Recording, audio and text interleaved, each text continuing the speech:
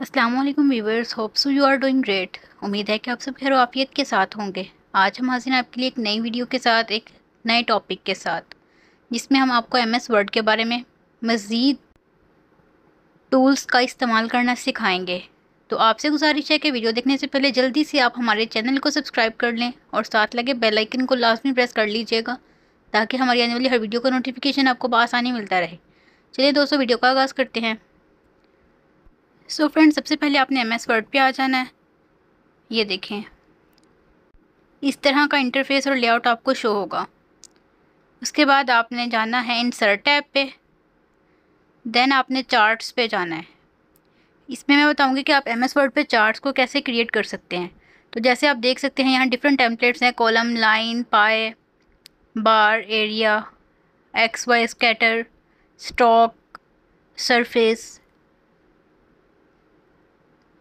radar, tramp, sunburst, histogram, waterfall combo box and whisker जिस तरह ये देख सकते हैं डिफरेंट जैसे जैसे आप क्लिक करें हैं तो चार्ट्स का जो है इंटरफेस है वो भी चेंज होता जा रहा है।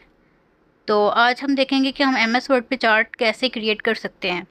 और बहुत इजी प्रोसीजर है इसके लिए आपको किसी और टूल पे जाने की ज़रूरत नहीं है ना ही किसी और सॉफ्टवेयर को सीखने की ज़रूरत है। अगर आप एम एस वर्ड को ही अच्छे तरीके से सीख लेते हैं तो आप इस पर बहुत ज़्यादा चीज़ें कर सकते हैं। ये देखें हिस्टोग्राम इससे आप क्रिएट कर सकते हैं। हिस्टोग्राम का चार्ट है, ये बॉक्स एंड विस्कर ये वाटरफॉल और ये कॉम्बो तो सबसे पहले हम कॉलम्स पे आ जाते हैं। ये देखें, यहाँ से आपने कोई कॉलम जो एक सिलेक्ट करना है, जैसे ही आप कोई कॉलम सिलेक्ट करेंगे, ये आपके पास ये देखें चार्ट इस तरह इंसर्ट हो जाएगा। और उसके साथ आपके पास एक एक्सेल की शीट जो है वो ऑटोमेटिकली बाय डिफ़ॉल्ट शो हो जाएगी, जहाँ पे आप चेंजिंग्स करके अपने चार्ट की जो लेआउट चेंजिंग्स हैं, उसको देख सकते हैं। अब ये देखें अपने कैटेगरीज़ है। इसकी जगह पे मैं लिख देती हूँ नंबर्स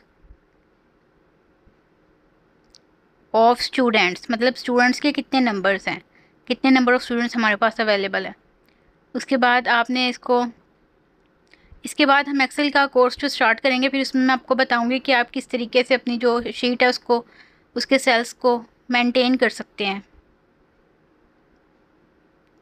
ये इसकी सेकंड है। सो फ्रेंड्स यहाँ पे जोन सी एंट्रीज़ में चाहती हूँ अपनी एक्सेसिस और वाई पे शो उसके अकॉर्डिंग मैं इसको अरेंज कर लूँगी। मार्क्स ऐड किए मैंने student number of students add किए मार्क्स ऐड किए, यहाँ पे मैं सब्जेक्ट ऐड करूँगी कि सब्जेक्ट्स कौन कौन से हैं। उनके फॉर एग्जांपल मैं स्टूडेंट चार्ट बना रही हूँ तो स्टूडेंट के ग्राफ है। उसके अकॉर्डिंग ग्राफ जो है वो ऊपर नीचे जाएगा मार्क्स के अकॉर्डिंग और यहाँ पे मैं, यहाँ से इसको थोड़ा सा मार्जिन सेट करते हैं, इसका कि पूरा जो है ना स्पेलिंग्स के पूरे वर्ड आ जाए क्रिएट हो जाए तो ये देखें. अब यहाँ पे सब्जेक्ट्स के बाद रोल नंबर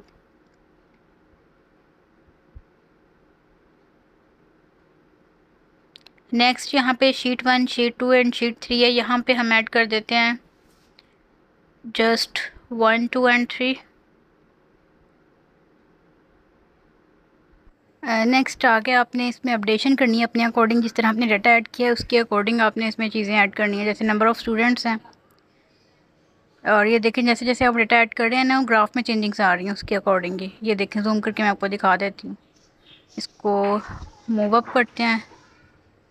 ये देखिए आपने जैसे सब्जेक्ट्स ऐड किए हैं ये मार्क्स ऐड किए हैं उसके। उसके अकॉर्डिंग ही जिस तरह आप चीज़ें ऐड करते जाएँगे ग्राफ में उसके उसके अकॉर्डिंग चेंजिंग्स आती जाएँगी। Number of students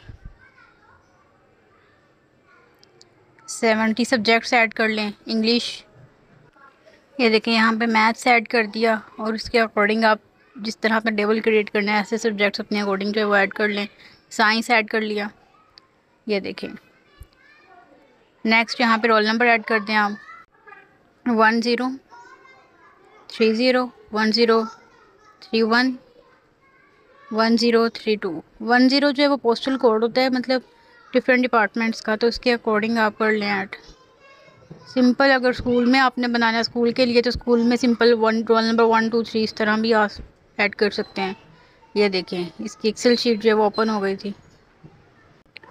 इसको आप कहीं पे भी मूव अप कर सकते हैं मूव डाउन कर सकते हैं, उसके अकॉर्डिंग आप चेंजिंग्स देख सकते हैं। देखें चार्ट टाइटल यहाँ से आप टाइटल इसका चेंज कर सकते हैं और रिमूव कर दिया है यहाँ से एडिट कर सकते हैं डाटा को।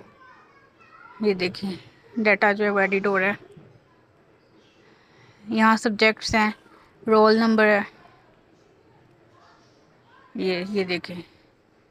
तो ये बेसिक हमारा आज का था कि हम चार्ट्स किस तरह क्रिएट कर सकते हैं एम एस वर्ड पर और उसको किस तरह मॉडिफाई कर सकते हैं। ये देखिए, ऊपर आप इसका लेआउट भी चेंज कर सकते हैं कलर्स चेंज कर सकते हैं देख कितना प्यारा लग रहा है।